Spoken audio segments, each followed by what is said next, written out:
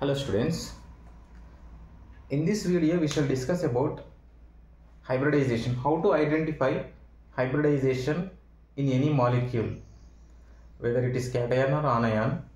Easily we can find out the hybridization present in a molecule. So there is simple uh, trick to find out hybridization in any molecule. So that is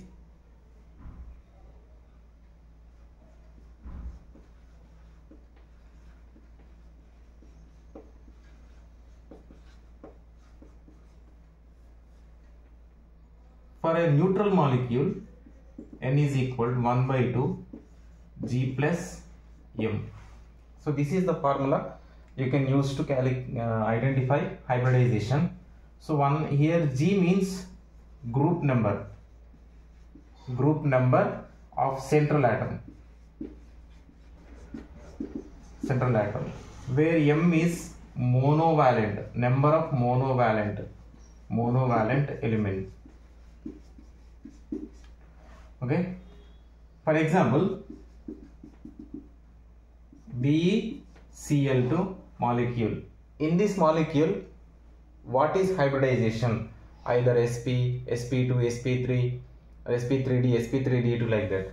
So here if you get 2 n is equal to 2 then it means it is sp hybridization.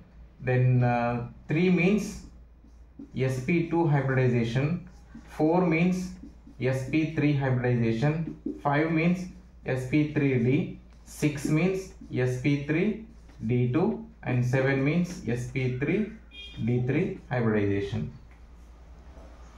So in BeCl2 molecule. If you substitute here here 1 by 2 your beryllium group number is what? Group number 2 second group. Plus there are two monovalent uh, elements here two chlorines so 2 so 2 plus 2 4 then 4 by 2 gives us 2 so 2 means sp hybridization. In this molecule sp hybridization is present.